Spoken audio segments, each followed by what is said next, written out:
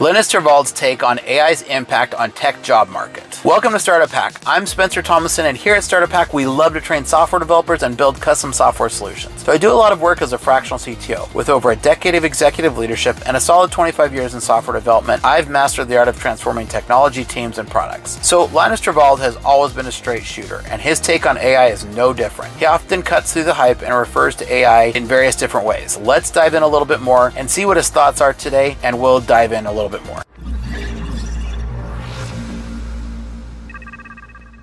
So Linus Torvalds calls AI autocorrect on steroids and I really love this. The interview actually says it, but he agrees with him. Now, I've always considered Linus Torvalds as one of the great minds of the computer era. He's the original creator of Linux in 1991 and later the creator of Git. Linux now runs on over 54% of all the devices in the world. A staggering 96% of all web servers run Linux. It's hard to say that any one person has contributed more to computing in the last 35 years than Linus Torvalds. So if you want to say he's been around the block and seen a few trends, I think that be an understatement. Now, drawing from his own personal experience, Linus points out that when he started, everything was done in assembly language. Today he writes in high-level languages reflecting the evolution of programming. Now this analogy highlights how tools and languages have evolved to make development more efficient without eliminating the need for skilled developers. AI is just another step in this evolution. It helps streamline certain processes, but still requires human oversight and creativity. The essence of development remains rooted in human ingenuity. Now let's talk a little bit about AI's role in security. One of the significant areas where AI can make a difference is in security. Acknowledges acknowledges that AI can assist in identifying vulnerabilities and automating responses to security threats. However, he's quick to point out that human judgment is indispensable in making critical security decisions, so the combination of AI and human expertise can enhance the security of software systems. This synergy is vital for creating robust and secure applications. Now, Linus Torvald is a staunch advocate for open source, and he sees AI as a catalyst for future contributions to this ecosystem. Companies like NVIDIA are investing in open source projects, driving innovation and collaboration.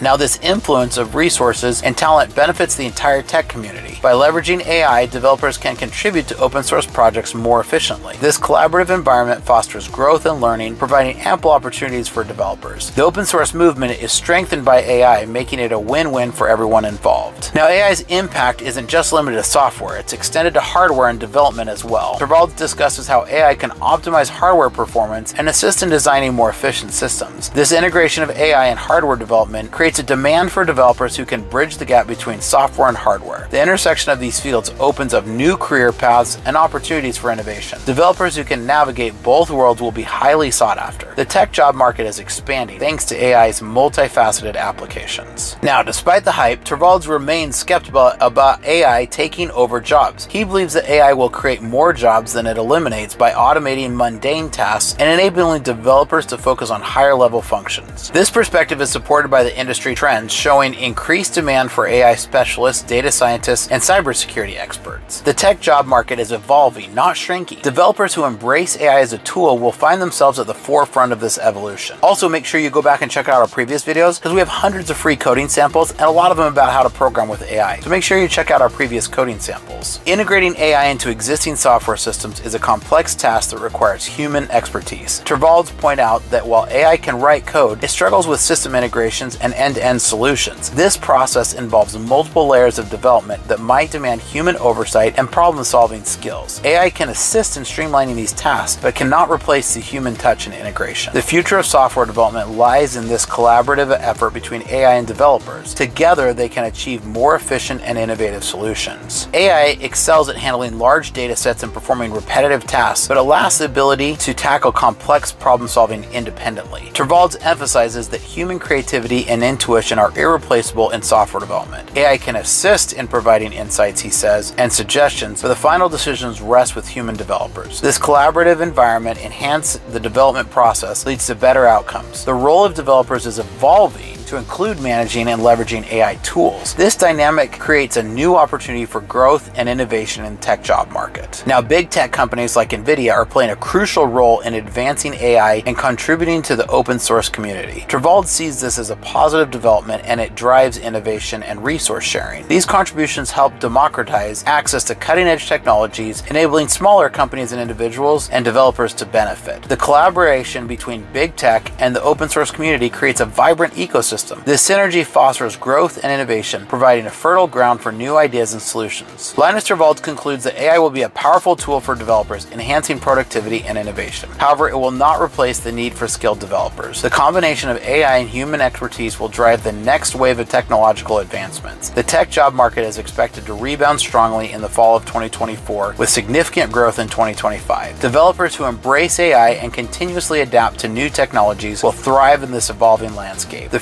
future is bright for those that leverage AI potential. Now, what are your thoughts? Do you agree? Do you disagree? Love having a great, healthy discussion, so leave a comment down below, even if just to say hi. Here at Startup Hakk, we love to train software developers as well as build custom software solutions for companies. So reach out because we'd love to help. Hit the links down below or go to startuphakk.com today.